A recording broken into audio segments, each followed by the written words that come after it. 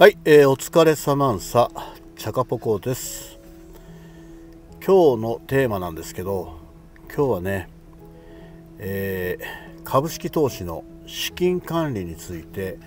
お話ししたいと思います。それじゃあ、どうぞ。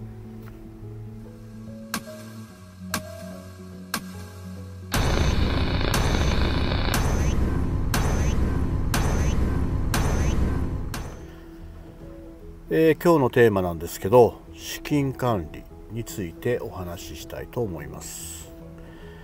えー、資金管理というのはですね実は株式投資をやる上で最も大切なことなんですね、えー、株をやり始めた方というのはね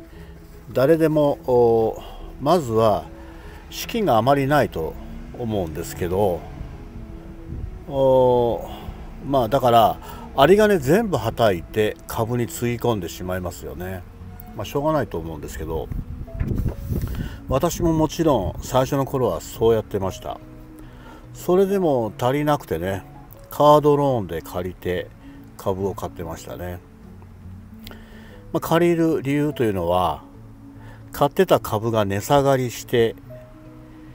その平均買いコストを下げる。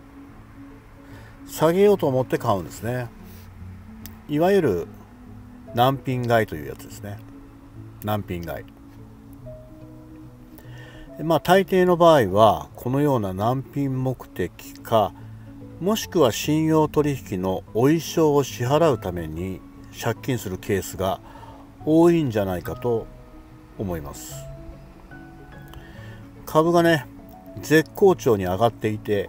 もっと買いたくて借りるというケースはねまあ過去を振り返ってもあまりなかったように記憶してますね。えー、私がですね株で勝てるようになってきた理由は一言で言うと暴落した時に買えるようになってからなんですねそれまでは、えー、手持ち資金で目いっぱい株を買ってますから株が、えーと、いくら安くなったところで買えないんですね。買えないので身動きができなくなるんです。で、えー、塩漬け株になってしまうと。いうような流れですよね。そうなってしまうと株価が回復するのをひたすら待つしかないんですよね。これ時間がもったいないんですけど。えー、この状態はね私はまあほとんどの投資家の方が経験したことがあるんじゃないかと思うんですけどこういう時にね投資資金の半分でも手元に残っていればめったにないバーゲン価格で株を買うことができますよね。株っていうのは半年か1年に一度ぐらいは必ず予期せぬ暴落っていうのがあります。その時まで資金をですね半分以上残しておくようにしておいてください。要はね株っていうのは1回で買うもんじゃないんですよ。何回かに分けて買うとそういう感覚が必要じゃないかと思います。株で勝とうと思ったらですね買う時も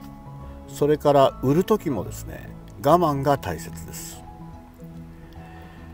えー、スーパーや百貨店でも半期に一度の大バーゲンをやってますよね。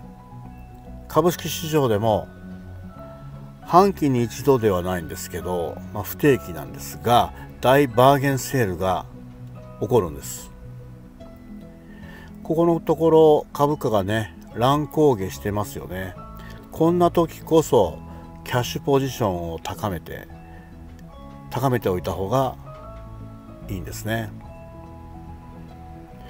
まあ極端な話をすると大暴落した時だけ株を仕込むという戦略も十分ありだと思います。ということで今日は、えー、資金管理ということについてお話をしました。えー、最後までご視聴くださり誠にありがとうございます。高評価ボタンチャンネル登録よろしくお願いいたします、えー、それでは最後に今日の一言。株で一番大切なことは資金管理です。それじゃあいってらっしゃい。